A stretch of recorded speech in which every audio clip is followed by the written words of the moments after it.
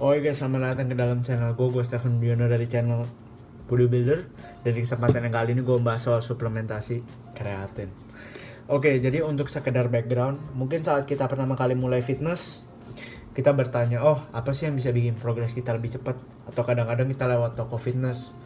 Kadang-kadang kita mikir oh gue nggak pakai suplemen ini badan gue tumbuhnya jadi lebih lama atau malah kadang-kadang kita pikir oh orang itu pakai susu nih makanya badannya jadi lebih cepat tumbuhnya Enggak guys, itu semua adalah cara pikir yang salah.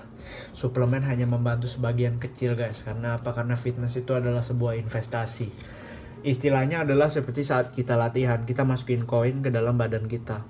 Dan semakin lama, seiring berjalannya waktu, koin di badan kita itu makin banyak dan kita bisa lihat hasilnya seperti badan kita tambah gede kita tambah kuat. Kayak gitu guys. Jadi jangan pikir kalau lu nggak pakai suplemen lu jadi lama tumbuhnya atau lu pakai suplemen lu malah jadi cepat nggak ada. Itu semua bohong. Gue udah banyak keluar duit buat beli beli suplemen yang gak guna. Gue cuma ngasih tau lo orang biar lo orang nggak mengulangi kesalahan gue buang-buang duit di barang-barang yang nggak berguna seperti itu. Ada yang bikin cepet tapi bukan suplemen yaitu adalah steroid dan jangan salah steroid pun kalau lu pakainya nggak bener lu latihan nggak keras makan lu nggak dijaga yang ada malah badan lu hancur dan nggak ada hasilnya juga ke badan lo. Jadi jangan sekali-sekali menghina yang pakai steroid karena yang pakai steroid itu juga butuh dedikasi tinggi dan kerja keras. Mereka yang mau lagi ke tingkat yang lebih tinggi. Jangan sekali-sekali lu katain mereka. Oke, uh, jadi uh, di yang kali ini gue mau bahas tentang suplementasi kreatin. Jadi kreatin ini yang saat ini itu adalah suplemen yang sudah terbukti yang udah banyak dicek ilmiah kalau dia memang ada gunanya dan aman untuk digunakan. Oke, gue mau bahas yang pertama itu adalah gunanya. Gue bahas secara simpel aja ya. Jadi kreatin itu dia membantu tubuh kita memproduksi lebih banyak ATP, sih jadi lebih banyak energi. Nah, energi yang lebih banyak itu pas kita latihan nanti itu akan lebih memperkuat kita. Memperkuatnya seperti apa? Yaitu adalah pas kita latihan. Kalau kita latihan gym kan kita banyak repetisi. Kadang-kadang kita bisa lebih kuat 1 sampai 3 repetisi. Loh, kok kecil banget 1 sampai 3 repetisi? Ya memang karena itu guys, karena yang gue bilang tadi suplemen itu dia hanya membantu sedikit. Sama, sama kayak kreatin. Kreatin pun fungsinya cuma sedikit, yaitu nambahnya cuma 1 sampai 3 repetisi. Jangan jangan ngira oh gue jadi lebih kuat, gue bisa nambah 20 kilo tiba-tiba. Nggak, nggak ada yang kayak gitu, itu bohong Nah, dengan kita bisa melakukan repetisi lebih banyak, otomatis stimulus yang diterima otot kita itu lebih banyak yang menyebabkan badan kita jadi lebih cepat. Tapi lebih cepatnya ingat yang gue bilang tadi 1 sampai 3 repetisi itu nggak bisa ngalahin kerja keras kita ngelakuin ratusan repetisi di gym. Oke, jadi uh, masuk ke bagian penggunaan. Di bagian kali ini tolong kalian dengerin dengan seksama karena apa? Karena gue lihat di pasar Indonesia sekarang banyak informasi cara menggunakan kreatin yang salah yang ini menyebabkan kalian rugi. Oke, gue jelasin dulu dari awal. Jadi uh, kreatin itu sebenarnya ada di makanan biasa, seperti contohnya di daging sapi, dada ayam, salmon. Dia sebenarnya udah ada kreatin. Nah, yang kita but badan kita butuhkan dalam sehari itu hanya 3 sampai 5 gram kreatin. Satu scoop kecil ini aja udah cukup satu hari. Nah, untuk dapat satu scoop kecil ini aja tanpa lu pakai suplementasi kreatin, bisa dengan cara natural, yaitu kayak gue bilang contoh dengan lu makan daging sapi. Nah di daging sapi ini uh, kreatinnya itu banyak, dia ada empat setengah gram, tapi dalam satu kilo. Jadi kalian bisa dapat 5 gram kreatin itu dalam kalau lu mengkonsumsi daging sapi satu kilo per hari. Nah itu kan banyak banget dan mahal banget. Itu benar-benar nggak efektif. E, karena itu adalah gunanya lu menggunakan suplementasi kreatin ini kalau lu nggak banyak makan daging merah. Oke jadi gue langsung masuk ke dalam cara penggunaan. Nah jadi e, kreatin itu sebelum dia berfungsi dalam badan dia butuh badan kita untuk mencapai level saturasi double saturasi adalah dengan badan kita semuanya otot-ototnya udah masuk tuh kreatinnya.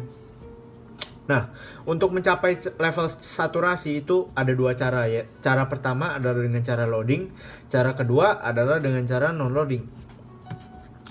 Jadi di cara loading pertama itu lo butuh 20 gram per hari. dalam tujuh hari. Jadi uh, 20 gram itu setara dengan 4 scoop ini.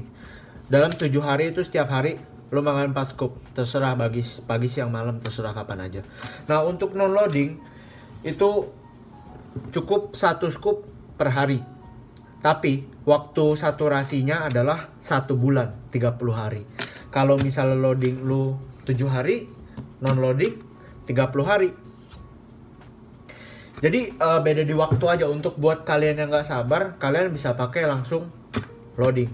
Tapi otomatis dengan loading lu udah konsumsi 150 gram dari kreatin. Karena apa? 20 dikali 7 itu 140 itu 7 hari lu langsung habisin.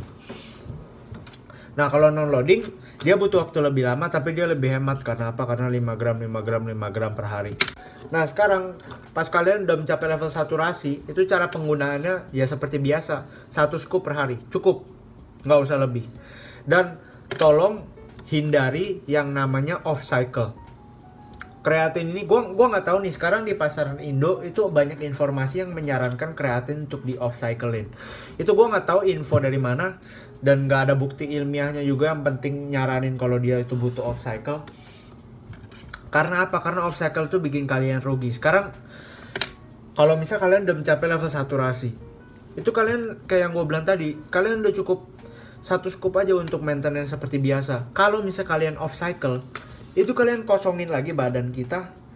Dari yang udah tersaturasi tadi tuh yang udah kita loading jadi di nolin lagi. Kalau nggak salah dalam jangka waktu dua minggu tuh uh, off cycle lah. Kalau udah disuruh loading lagi. Gila kan itu itu kalian udah rugi berapa? Sekarang loading aja kalian udah tahu butuh 140 gram per hari. 140 gram itu banyak nih. Yang gue punya aja nih 330 gram. Kalian potong 130 itu udah potong hampir setengah.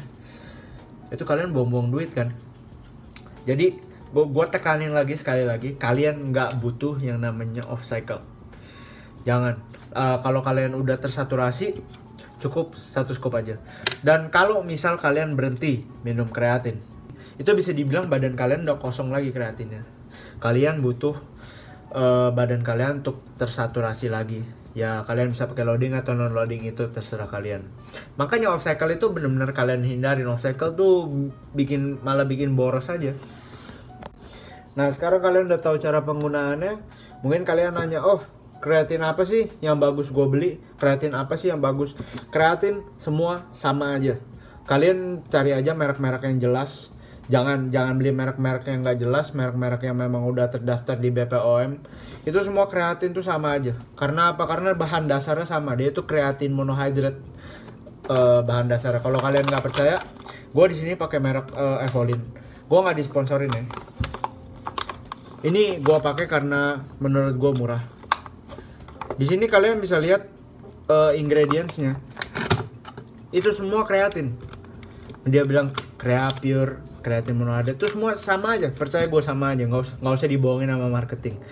Oke jadi uh, untuk kreatin ini dia sangat affordable.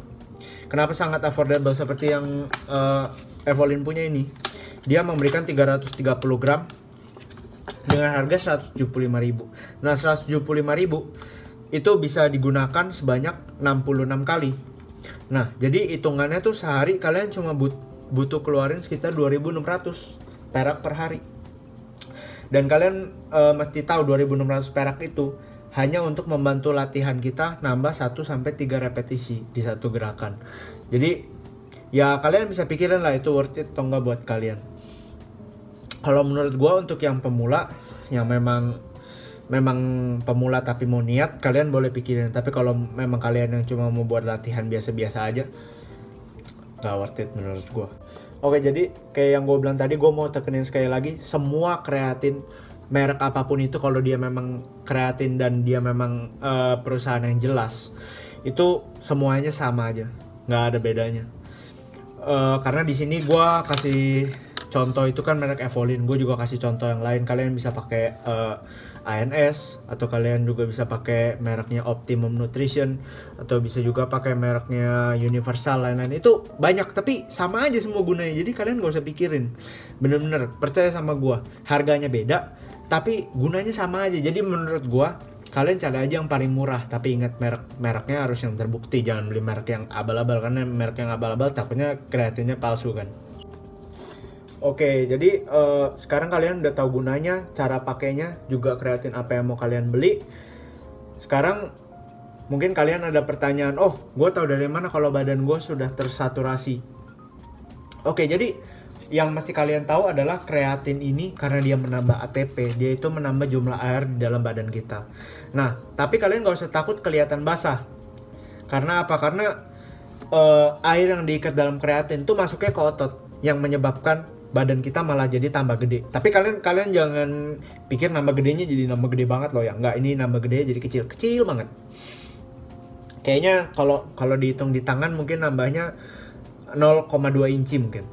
Sampai mungkin segituan lah. Nah, karena dia mengikat air lebih banyak di dalam badan kita, otomatis berat badan kita akan bertambah. Nah, bertambahnya sampai berapa kilo nih? Ber bertambahnya mungkin 0,7 kilo sampai 2 kilo. Orang yang badannya gede, kemungkinan ke arah yang lebih gede. Nambahnya bisa lebih banyak. Kalian gak usah takut, itu yang nambah bukan lemak, itu yang nambah air. Dan kalian gak usah takut kelihatan basah, karena apa? Karena uh, air yang masuk, itu masuknya ke dalam otot, dia bukan di bawah kulit dia bukan subkutan jadi kalian nggak usah pikir ah ini karena gue makan kreatin nih badan gue jadi basah. Nggak. Itu kalau kalian memang basah itu karena kalian memang body fatnya masih tinggi bukan karena salah kreatinnya. Nah guys sekarang kalian udah tahu semuanya tentang kreatin. Kalau misal kalian masih ada pertanyaan atau mungkin ada yang perlu dikoreksi kalian bisa langsung uh, tulis aja di kolom komentar di bawah. Dan sekarang sekian dari gua. Jangan lupa klik tombol like dan juga tombol subscribe yang ada di bawah buat ngikutin terus perkembangan dari channel gue terima kasih banyak udah ngikutin sampai saat ini. Dan see you guys on next. Ocean,